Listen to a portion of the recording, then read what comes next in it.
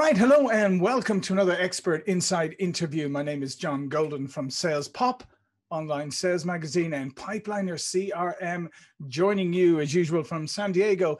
And today I'm delighted to be joined by Gabrielle Dolan, or Rel as she likes to be called, who is in Melbourne in Australia. How are you doing, Rel? I am good, John. Yes, it was a. Uh, my name's Gabrielle, but my younger sister couldn't really pronounce my name and would always say Gabrielle, Rao, and so Rel has stuck. So everyone calls me Rel. Well, I know it's it's it's great, um, and obviously it's it's tomorrow for you. So I love talking to people from the future. It's always great. yeah. I can I can tell you what's happened the last twelve hours. exactly. Um, and Rel has written many books, including the latest one, Magnetic Stories, which is uh, connecting customers and engaging employees with brand storytelling. And that's kind of what we want to talk about today: is how you can use brand storytelling to connect and engage with customers or prospective customers, and how you can even get your employees to be brand amb- ambassadors. So, um, talk to me a little bit about you know the genesis of this book and and why you called it Magnetic Stories. Yeah, look, I, so it's it is my sixth book. For the last 16 years, I've been working with businesses to help their leaders share stories to better communicate. And it's normally it's normally had a bit of an internal focus. So how do you do connect and engage employees like with your with your values and so how you share personal stories around that. But more increasingly, it's like how do we share them to connect and engage with customers as well. So I um the I guess the genesis of the book was that I this concept of brand storytelling. So how do we communicate our brand through stories? I saw a lot of uh, people talking about it, and what I noticed is that they were not doing it very well. Um, they would call something a story that wasn't a story. So you know they would go, "Oh, this is our brand story," and I was like, first of all, there's not just one story that communicates your brand, and second of all, it's not a story; it's a timeline, for example. So I saw a lot of companies companies doing it incorrectly. I also saw or heard a lot of stories that companies had and weren't sharing them and weren't sharing mm. them because either they didn't understand the power of story or they didn't quite know how or they didn't think anyone would be interested or they were a small company trying to sound bigger so stop sharing their you know creation story so i saw all this happening and, and thought i'd write the book the um the name of the book. So, naming your book, John, is one of the biggest decisions and almost the hardest yeah. decisions you make. I always have a working title that never ever makes it to the final cut. And this was no different. Um, I knew the concept of the book. The concept of a book was once you heard a story, it, you know, it's sort of like you connected with it straight away and it was hard to pull away from. So, I was thinking of of the, of something that would demonstrate that, and I and I came up with magnetic stories where you know it's like a magnet. It's like it's, yeah. it's it can be this instant instant connection that then then it's really hard to pull away from, and a good story will do that. Yeah, no, that's excellent. And I just want to come back to the point you made there a moment ago because uh, when most people hear about oh you know storytelling or telling stories about your brand, I think people kind of intellectually get the idea but on a practical level, a lot of people don't really know what a story is or what are the characteristics of a story or how you would even use it. Mm, yeah, and again, you, you you just got to look at a lot of websites have changed their about us page to our story, and if you go and look, I guarantee you nine times out of ten it's not a story. It's it's just a timeline um, but they've called it a story or it's just a paragraph full of jargon and acronyms and you go that's not a story either. So yeah it's just what actually is a story. So so what is your definition of it? When you when you work with with clients um, how do you define a story? So to, to me, a story has to have that human element connection. It's it's got to be about someone. So that's why a case study is not a story you know what, what, we've done and how we did it and the results is not a story. It's got to to me and to me in business there's a lot of things in business that it's got to be pretty succinct so people get the message straight away. Um, storytelling in business it's sort of got to have one message per story so not trying to deliver everything in one story but it has to have this human element that helps people connect with it emotionally. And when I say emotionally, I'm not talking about getting all emotional, but a good mm. story will tap into emotion. And as humans, we are emotional beings and and one of the the problem the, one of the challenges in business is we have this you know um, bias towards data and logic and we try to communicate and influence people through data and logic and you still need that but ultimately we're humans and we make mm-hmm. decisions based on emotion yeah, and it's also interesting uh, something that you just mo- mentioned a moment ago, and that is sometimes when people write what they think are stories, there's about 50 different points in it, or they're, as you said, they're covering a timeline or whatever. And let's face it, I mean, as humans, we're not very good at, uh, at taking on board too much at once. So really focusing in on the central point is, is critical. So what are some of those, when you work with your clients, what are some of those central points that you try to help them focus in on that maybe can help them tell a story that people would be interested in? Yeah, look, the whole concept of brand storytelling to me is sharing stories about your brand. And mm-hmm. there's going to be lots of lots of people go, well, what is brand? To me, is a brand is and when we talk about a company and it's also an individual it's it's yeah. the what what are your values what what are your behaviors so if what do you want to be known for so as an individual or as as an individual if you want to be known um, as integrity like has integrity then first of all you got to do that but what stories can you share that demonstrate that? So um, it's the same with the company the same what do you want to be known for? And normally what we, talk about what we not want to be known for a company will have its values. So we've, we've gone through all this work to say these are our values and these are our behaviors um, that you know we want to reinforce. To me you have to break each one of those down. So if you want to be known for customer service what does that mean? What does that truly mean? And being clear on what that means. And then finding a whole heap of stories that demonstrate that. So it's not just one story and it's not it's it's a collection of stories that continually add to that. So how are you, you know, let's just take you want to be known for delivering great customer service how are you finding stories of your employees delivering great customer service how are you communicating those stories internally so everyone else understands what we mean by great customer service. And maybe there's a handful of them that you can share externally as well. You know making your employees the hero. So mm. sharing stories is part of it then actually doing stuff like you know you can't just share stories about how you deliver great customer service but don't do it. You've actually got to yeah. do it as well yeah, no, I was going to say that. I mean, you have to. Yeah, you, you it's the experience has to match the words at the end yeah, of the day, and absolutely. I do think that that's.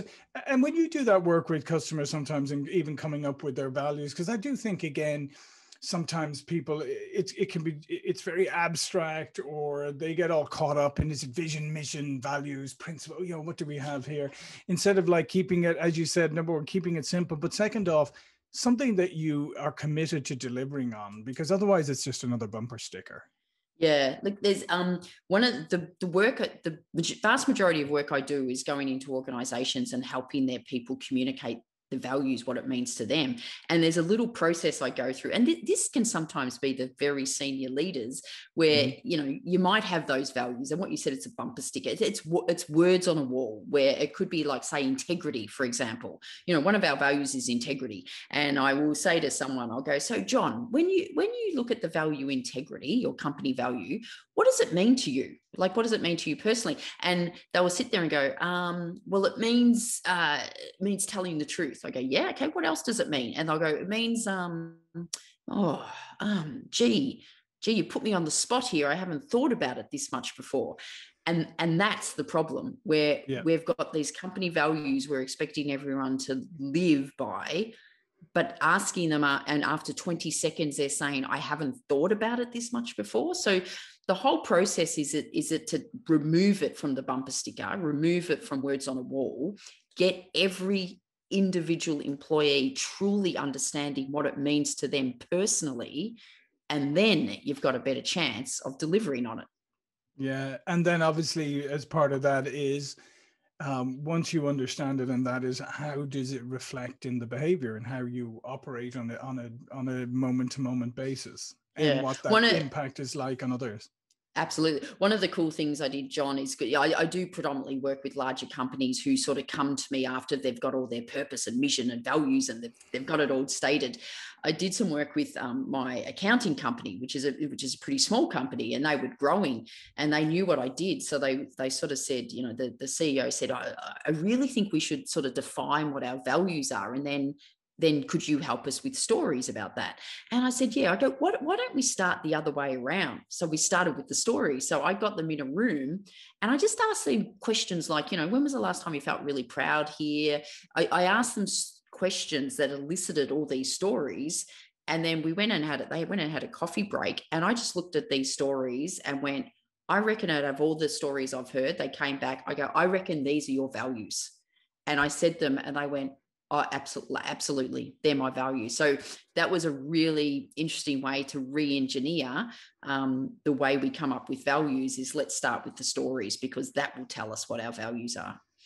Yeah, no, I love that approach because I do think sometimes there's, there's a temptation is that we want to put it, we want to put in like high high sounding things you know we yes. want to say like you know integrity and the things like that but the point that the the process that you went through was like okay let's start at the other end and let's see how you actually operate on a on a day-to-day basis and then we'll tell you what your yes. principles really are your values are yeah no exactly. i love I, I, love that approach um and how do you think it has i mean do you think this has always been true or do you think we're going through some kind of process now where people are uh, in some ways they're they're more desperate than ever to have some kind of human or emotional connection with a brand or with a company that they're doing business with. Maybe this has been accentuated or exacerbated by by the pandemic. I think it started before that because I think technology had been used um, in some ways very good and in some ways not so good by companies. I think technology had maybe separated people a little bit from their customers. So there's a little bit of a swing back on that.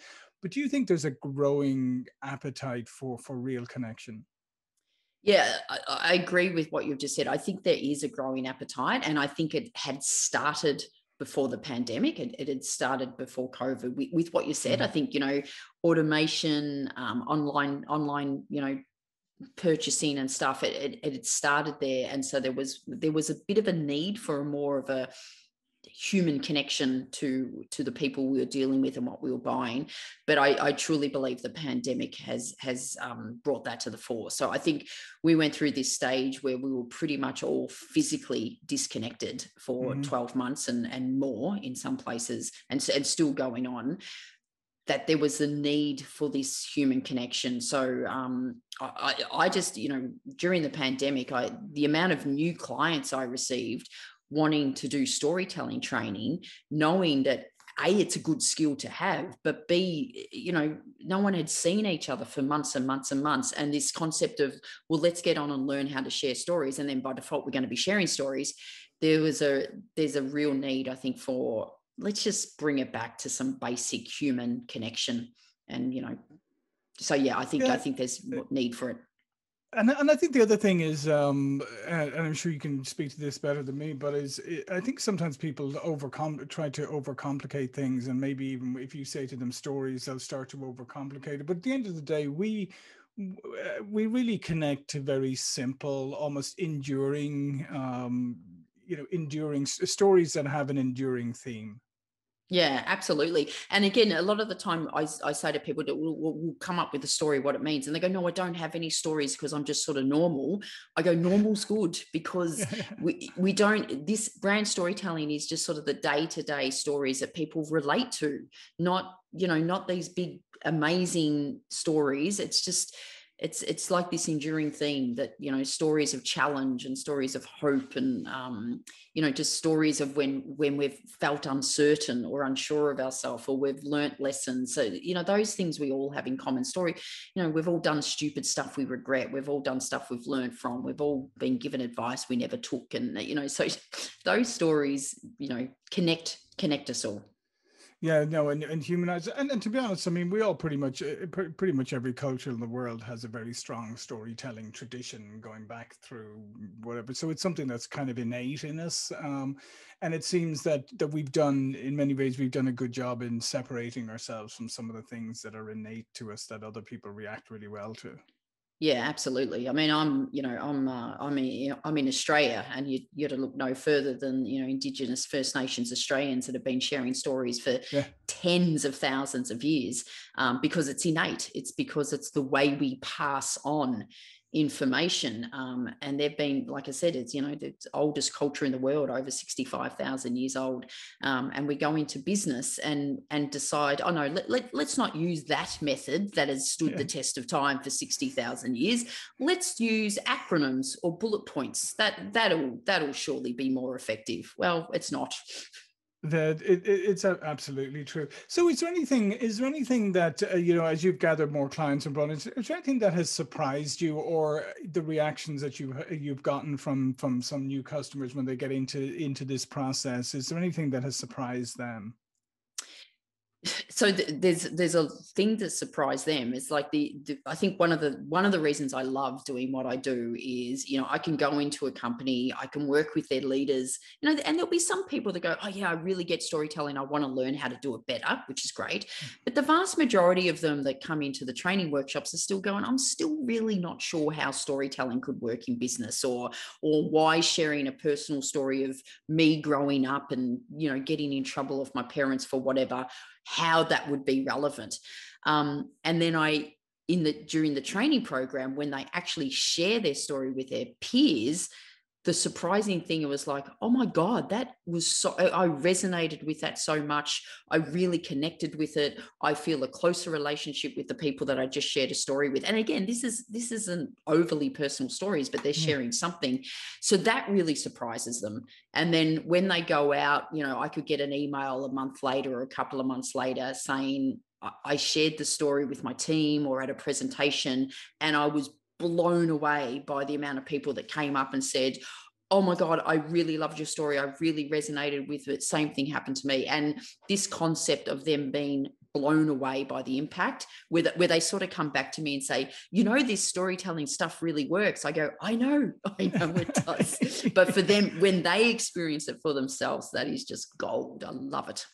Yeah, no, that's fantastic, and I, and I do love the point that you make that it doesn't have to be overly um, you know personal it doesn't have to be extremely deep and i think in some ways um, it's often better when it's not. It's better when yeah. there's things that people connect with that's on a certain level and people can relate to it, etc. So I, I think maybe that may be one part that makes people a bit reluctant about this because they think that oh I tell stories so I have to open up and you know tell my deepest darkest secrets. We say no you don't. You just have to tell yeah.